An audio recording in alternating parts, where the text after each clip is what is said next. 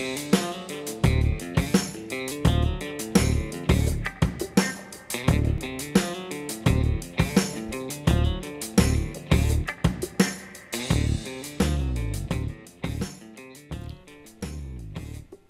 جنگ سرد به دوری از رقابت و تنش و کشمکش ژئوپلیتیکی بین اتحاد جماهیر شوروی و متحدانش یعنی بلوک شرق و ایالات متحده آمریکا و متحدانش در بلوک غرب. بعد از جنگ جهانی دوم گفته میشه. به طور کلی دوره زمانی جنگ سرد از 1947 و آغازین دکترین ترومن تا فروپاشی شوروی در سال 1991 در نظر گرفته میشه. به دلیل اینکه در این دوران هرگز درگیری نظامی مستقیم میون نیروهای ایالات متحده و شوروی به وجود نیامد. اما گسترش قدرت نظامی و کشمکش های سیاسی منجر به جنگ های نیابتی و درگیری های مهم بین کشورهای پیرو و همپیمانان این دو ابرقدرت شد که از واژه سرد برای توصیف این جنگ استفاده میشه.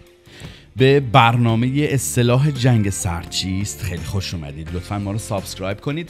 دکمه زنگوله رو بزنید تا از برنامه های جدید ما با خبر بشید. برنامه های قبلی ما هم یه سری بهش بزنید لایک و کامنت فراموش نشه.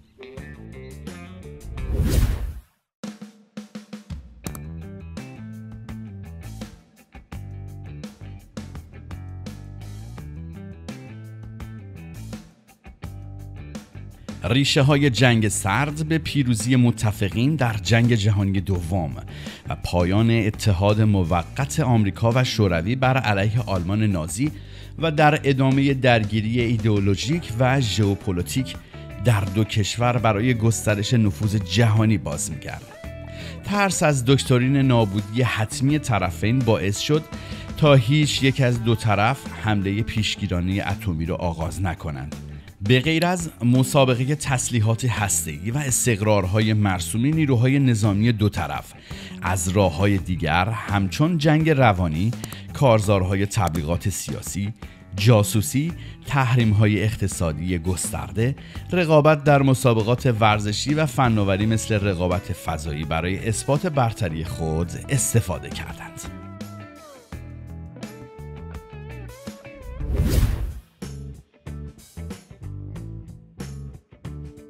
غرب از سوی آمریکا و کشورهای همپیمانش که عموما کشورهای غربی جهان اول و دارای سیستم حکومتی لیبرال دموکراسی بودند رهبری می‌شد. کشورهای مستعمری پیشین بلوک غرب که عموما سیستم حکومتی اقتدارگرایی داشتند دیگر کشورهای بلوک غرب بودند شرق از سوی شوروی رهبری می‌شد حزب کمونیست شوروی این کشور را تحت کنترل خود داشت و بر کشورهای همپیمان شوروی یعنی جهان دوم نیز نفوذ گسترده‌ای داشت. آمریکا از تغییر رژیم و قیامهای دست راستی در سراسر دنیا پشتیبانی می‌کرده و شوروی حامی احزاب کمونیست و انقلابهای چپ در دنیا بود. در بین سالهای 1945 تا 1960 بسیاری از مستعمره های پیشین استقلال یافتند و جهان سوم را شکل دادند که کنترل و گسترش نفوذ بر جهان سوم یکی از محلهای اصلی درگیری آمریکا و شوروی شد.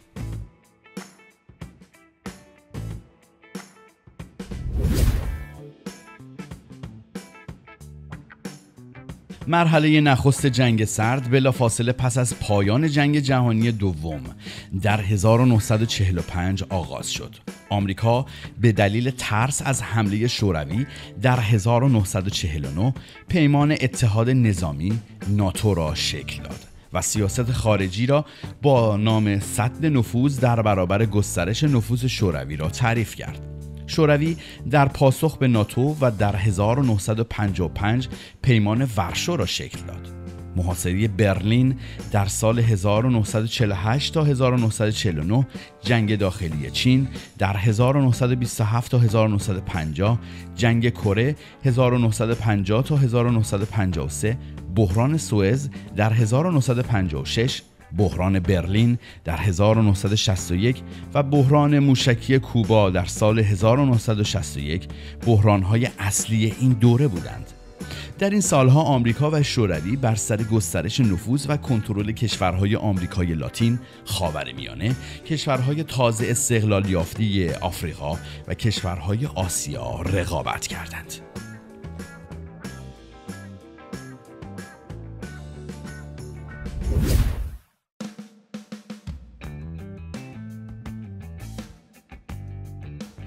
در پی بحران موشکی کوبا جنگ سرد وارد مرحله دوم شد.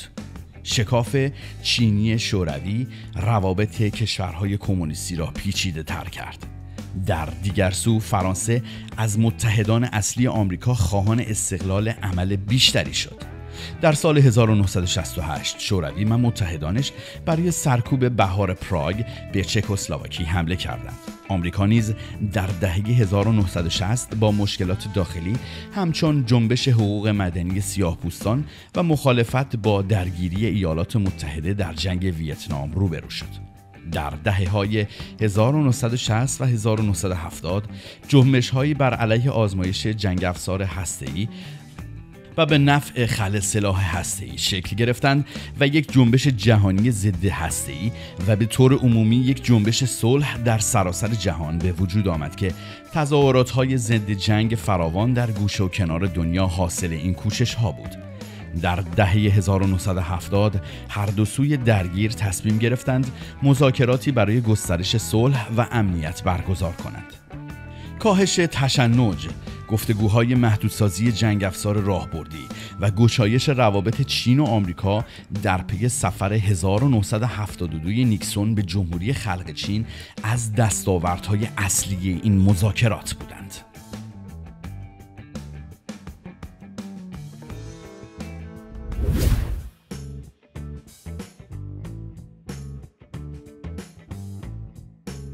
در پایان دهه 1970 و در پی حمله 1979 شوروی به افغانستان دوره کاهش تنش از میان رفت و جنگ سرد وارد دوره تنشسا و سومین مرحله خود شد. آمریکا به عنوان بخشی از دکترین ریگان فشارهای نظامی، دیپلماتیک و اقتصادی فراوانی بر شوروی وارد کرد و این در زمانی بود که شوروی خود در دوره از رکود اقتصادی به سر می برد و با مشکلات اقتصادی دست و پنجه نرم کرد. در پی این فشارها و از میانه دهه 1980 جنگ سرد وارد مرحله چهارم خودش شد. رهبر جدید اتحاد جماهیر شوروی میخائیل گورباچوف فضای باز در 1985 و بازسازی در 1987 رو آغاز کرد و به حضور نظامی شوروی در افغانستان پایان بخشید. در این زمان تلاش ها برای دستیابی به استقلال بیشتر در کشورهای اروپای شرقی بیش از پیش شد و گورباچوف با ادامه پشتیبانی نظامی از دولت‌های این کشورها مخالفت کرد. به دنبال تصمیم گورباچوف انقلاب های فراوانی در 1989 در بلوک شرق روی داد که سرنگونی دولت های کمونیست حاصل این انقلاب ها بود. خود حزب کمونیست شوروی نیز کنترل اوضاع این کشور را از دست داد و به دنبال کودتای ناموفق اوت 1991 این حزب در شوروی ممنوع شد.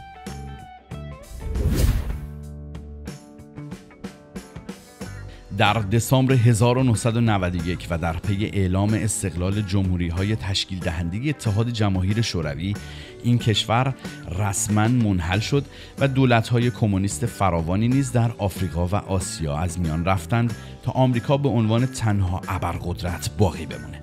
و این باقی موندن آمریکا مساوی با پیروزی جنگ سرد شناخته شد. از جنگ سرد و حوادث پیرامون آن میراث گسترده‌ای بر جا مونده. در فرهنگ عامه از جنگ سرد با موضوعات مهم اون همچون جاسوسی و تهدید جنگ هستی یاد میشه. همچنین در قرن 21 دوره جدیدی از تنشها میان آمریکا و متحدانش از یک سو و کشور جانشین اتحاد جماهیر شوروی روسیه از سوی دیگه به وجود اومد. از این تنش ها در کنار تنش آمریکا و متحدانش با قدرت رو به رشد چین به عنوان جنگ سرد دوم یاد میشه. خیلی ممنونیم که تا انتهای این برنامه با ما همراه بودید. لطفا ما رو subscribe کنید. دکمه زنگوله رو بزنید تا از برنامه های جدید ما با خبر بشید. برنامه های قبلی ما رو پیگیری کنید. برنامه های جالبی هستند. like و کامنت فراموش نشه. سپاس از شما. شب و روزگار. خوش.